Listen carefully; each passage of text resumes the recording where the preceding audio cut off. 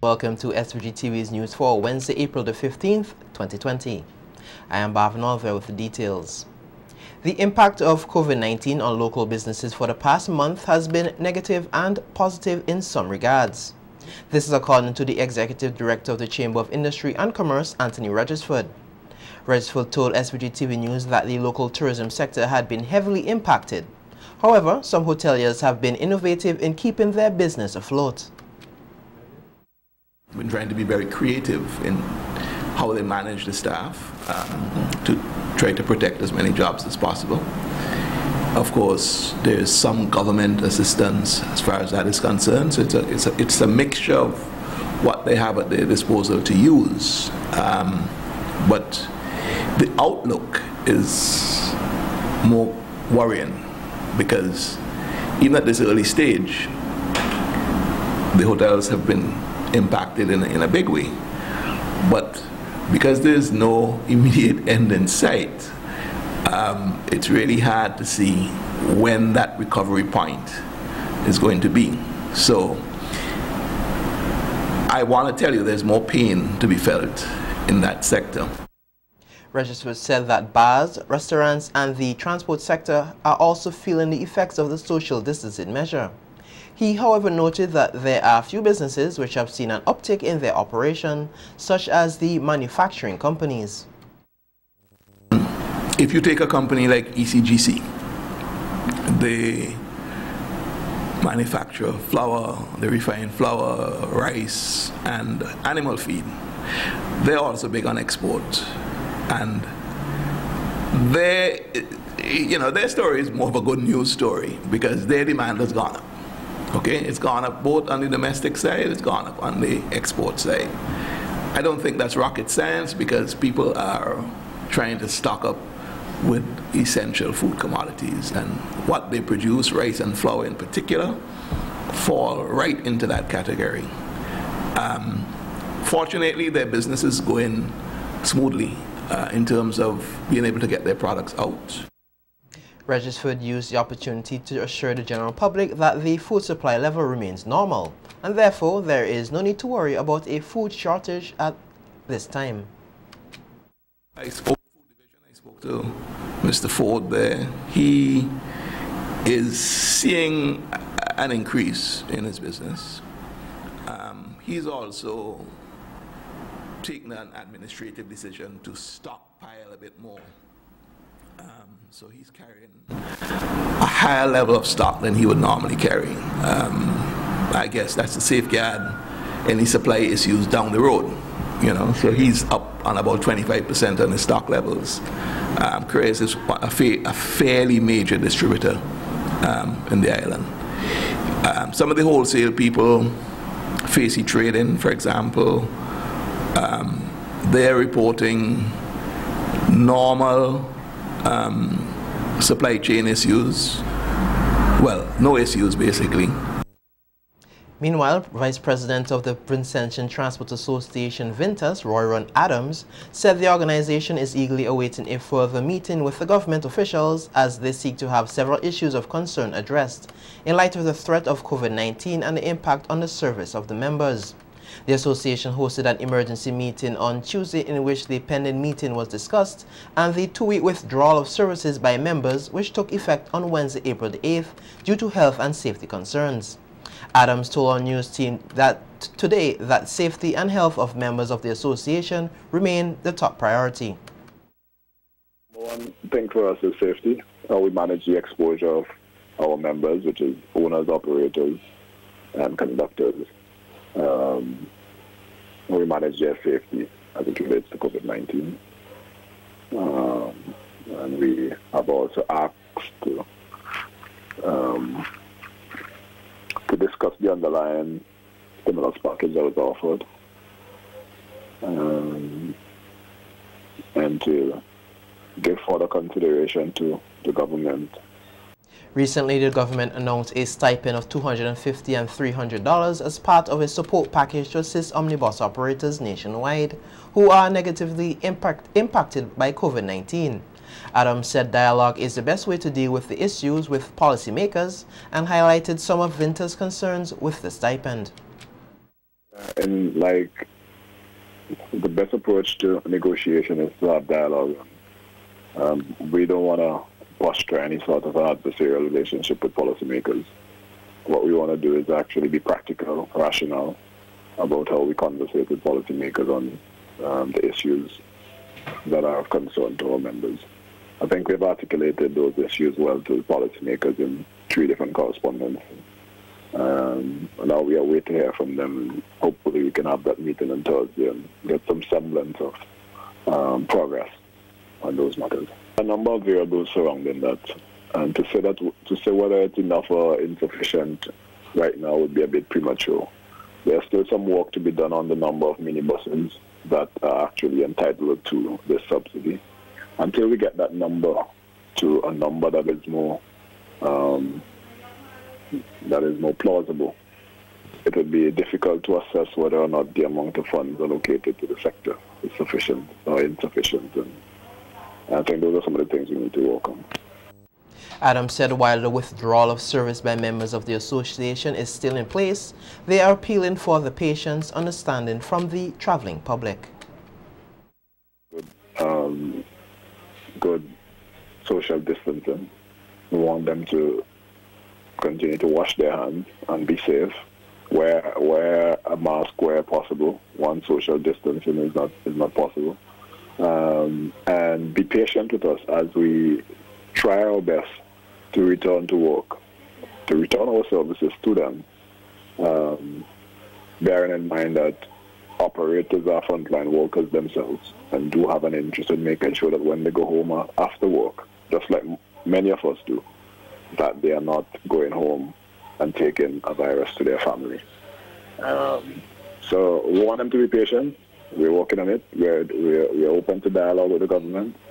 And we hope that we can have this result soon and return to, to work. Because, you know, withdrawing services has an economic impact on all the members as well. So, you know, it's, it's not an easy decision. It wasn't an easy decision. And, it, uh, you know, as we continue to dialogue, there are a few things that I believe we can make some progress on that can see us come back to work. Prime Minister Dr. Ralph Gonsalves said there is no need for a throwing of words across the Caribbean Sea at this time. The Prime Minister was speaking on Star FM Youth program yesterday in reference to the response by his Grenadian counterpart, Dr. Keith Mitchell, to a statement he made last Friday to residents of Petit Martinique and Carriacou, who may be experiencing food shortage and cooking gas as a result of the restrictions in Grenada due to the COVID-19. The Grenadian Prime Minister deemed PM Gonsalves' statement as unfortunate and irresponsible, to which PM Gonsalves replied in an open letter dated Tuesday, April the 14th, 2020, that Dr. Mitchell's allegations against him were unfounded and wrong-headed. On, and on radio yesterday, Prime Minister Don Gonsalves said his statement addressed to residents of Petit Martinique and Carriacou was misinterpreted by persons whom he said are struck with malice that he wrote to the Grenadian Prime Minister clarifying every misinterpretation. The letter was sent to the office of the Prime Minister of Grenada, Carriacou and Petit Martinique, and having been assured that the letter was received, then the letter was re released because the matter to which the letter refers is a matter which was contained in a press release, a press statement, and another statement issued publicly by the distinguished Prime Minister of Grenada. The thing is this, I was concerned about setting the facts right because mm -hmm. what I think happened is that the, and the letter speaks for itself, what I think happened is that some person stuffed with malice, mm-hmm. doctored or sort of truncated the tape. Prime Minister Gonsalves said that the Director of Grenadines Affairs, Edwin Snagg, on radio last Thursday, said there were people who were already leaving Carriacou to buy foodstuff and other items from Union Island amidst the shutdown in Grenada due to COVID-19. There are people who are leaving Carriacou, not from Hillsborough, the capital, but from the more windward side and from coves. Mm-hmm. And they would use a short distance by speedboat and come and buy a lot of stuff food stuff, um, medicines, cooking gas, and the like. Mm-hmm. And uh, of course, if the country is locked down, that is to say Grenada, and people are somehow still leaving, hmm. it means that the situation is not locked down tight as a drum. Mm-hmm. It means you did a good job at so-called locking down. And and um, but the point is this: what I was interested in is to have a structured organized manner in which mm-hmm. if people would like to get any of those commodities, they can get them. In reference to the just concluded Easter holiday weekend, PM Gonsalves said he was advised by Ministry of Health and the Commissioner of Police that persons overwhelmingly complied with the advisory to stay at home. Dr. Gonsalves said the beaches, pools and other tourism sites which persons were advised to stay away from in order to contain the spread of COVID-19 was empty. Thanking those who complied and stayed at home, the Prime Minister, however, noted that though they were advised, there were two churches which had large gatherings which went against the advisory issued. Um, one of them, I've been advised, had indicated that this was the last church service for the period during the time of COVID. Persons, more persons decided to go than one would have expected. Mm-hmm. A small church. And there was another one um, where there was a wedding. Mm-hmm. And in relation to do, the, that particular denomination, I spoke to one of the principal leaders in that church today and ask that the message be reinforced. But in the management of risks, I think it would be correct to say that the people of St. Vincent and the Grenadines listened. The National Insurance Services, the NIS, is taking a stakeholder-centric approach as part of measures to mitigate against the impact of COVID-19. So says the Executive Director Stuart Haynes during a Facebook Live forum last evening in which he highlighted measures implemented by the NIS to help members cushion the economic impact caused by COVID-19. Many institutions nationwide have implemented their own measures to encourage social distancing and protect staff and customers from the deadly virus. During the question and answer session, Haynes spoke on what the NIS has done for its staff. From protecting lives we're actually looking at protecting them and ensure their health and safety. We implemented several measures. They have access to information, access to supplies. We also recruited a nurse to provide medical service during this period. They also have flexible working hours. We also give consideration to parents who, with, with children at home and so forth. And from a livelihood standpoint, we ensure that their income and salary are preserved, but also there's avenue for them to get either salary advance or concessionary loans. Our customer.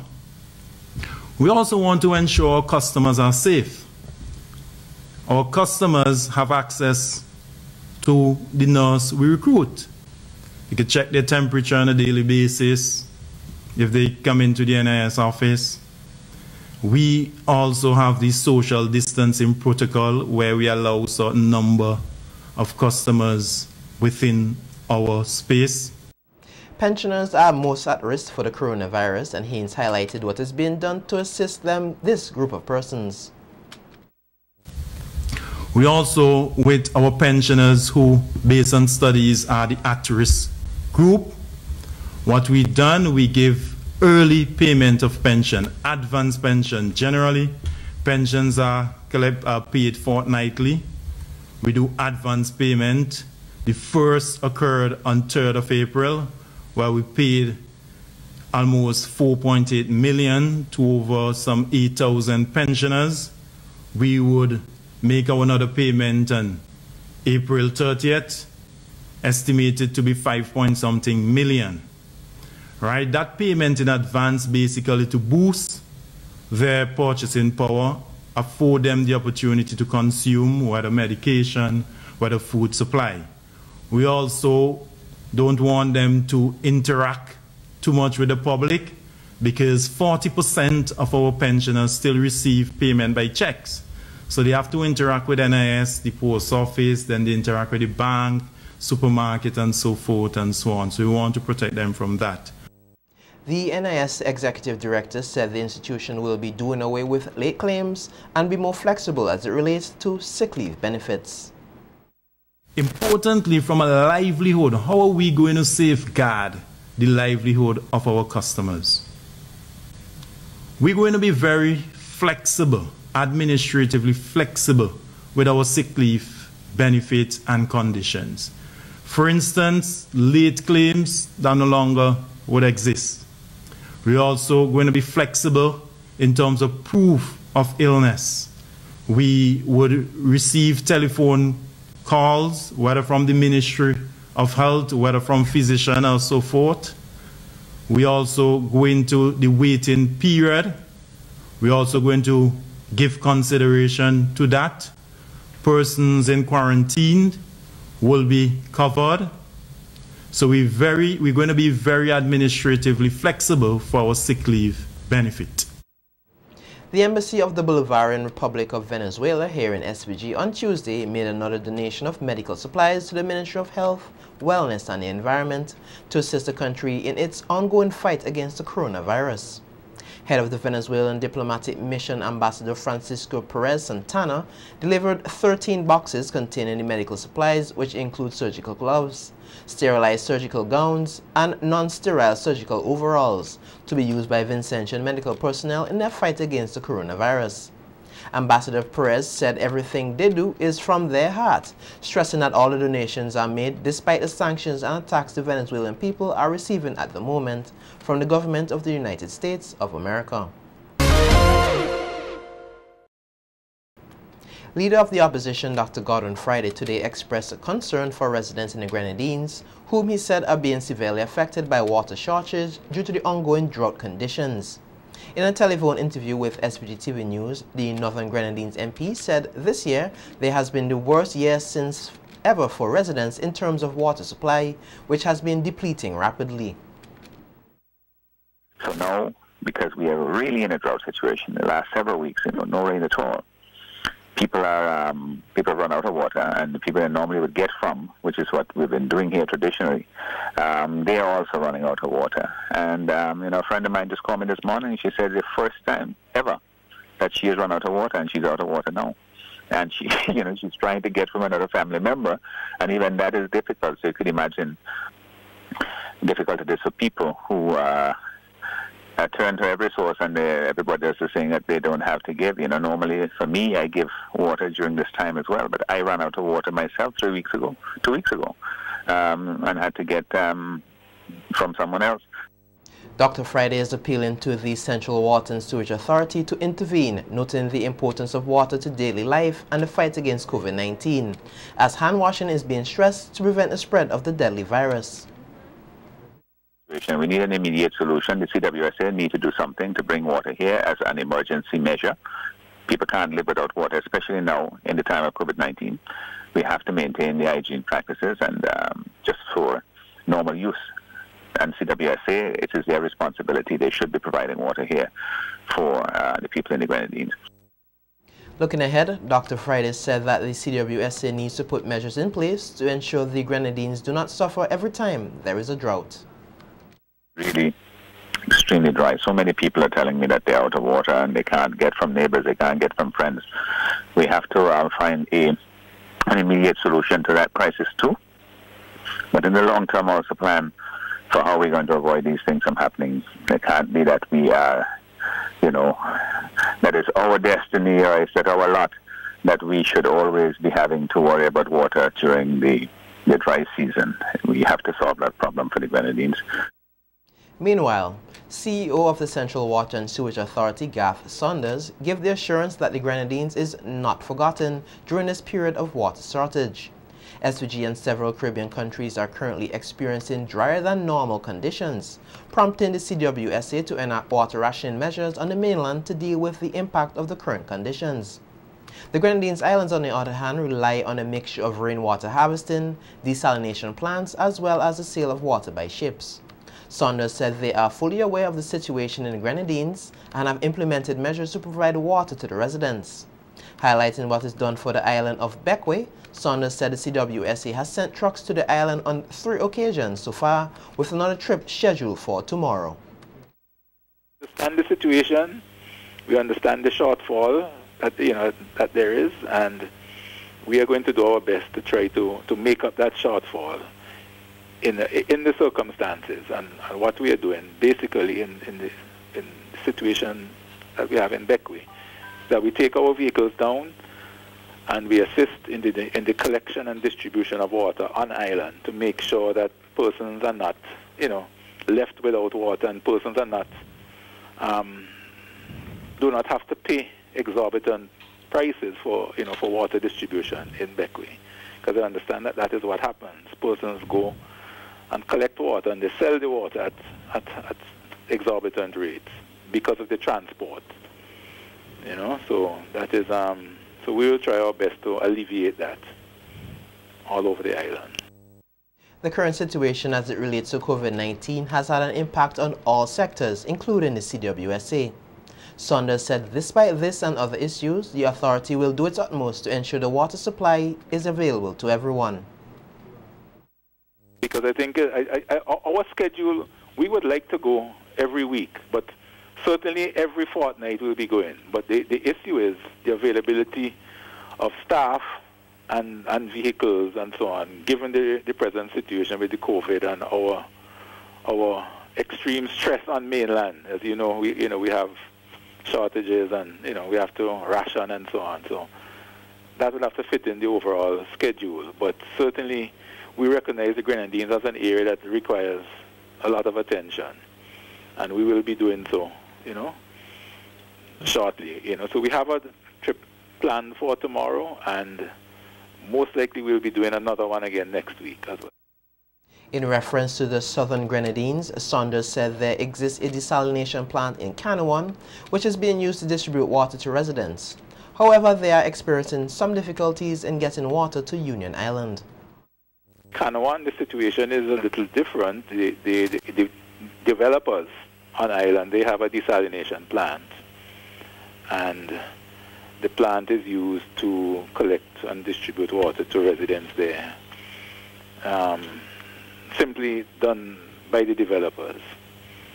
Um, Union Island, there's um, there's a catchment on island, and there there's some distribution going on there, but that is um, that is as far as it as it goes there. The situation there is also requires some some urgency, but we are limited in terms of what we can do because of vessels, availability of vessels to take water to Mayreau and to the you know the other southern Grenadine islands. In other news, the St. Martin Secondary School will begin online classes for all of its students next Monday, April the 20th. The school said on Wednesday that the timetables and other information will be available on the Facebook page from Friday. Students can access their classes by logging on to the e-learning forum on the school's website. As a lead-up to the classes, the school will be hosting a series of parental meetings on the Zoom video conferencing platform beginning today with parents of Form 1, 2, and 3 students between 6 and 8 p.m. The other meetings will take place tomorrow for parents of Form 4 students from 6 p.m. and parents of Form 5 students from 7 p.m. Information on the meeting codes and other links to join the meeting are available on the school's Facebook page.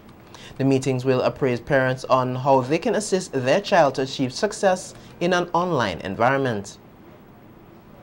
In its quest to ensure the safety of the nation's roads, the Traffic Department of the RSVG Police Force continued to clamp down on incidents of reckless and dangerous driving. A news release from the Police Public Relations Department said consequent upon the circulation of a video on social media showing a number of motorists driving along the Arnoldsville and Sion Hill public road in what appears to be in a reckless manner, the Traffic Department subsequently launched an investigation into the incident. The department said upon completion of the investigation, the police have instituted procedures by way of summons against Javon Jardine, a 23-year-old of Mount Pleasant, TJ Dean, 21 of Prospect, and Jelani Douglas, 25 of Rockies, for reckless driving. They are summoned to appear at the Magistrate Court in Kingston on April the 17th, 2020, to answer to the complaint. The incident is said to have occurred on April the 11th, 2020. Head of the Traffic Department Superintendent of Police Kenneth John is advising all motorists to drive with caution and exercise due care and attention at all times, noting that all acts of reckless and dangerous driving will be prosecuted according to the law.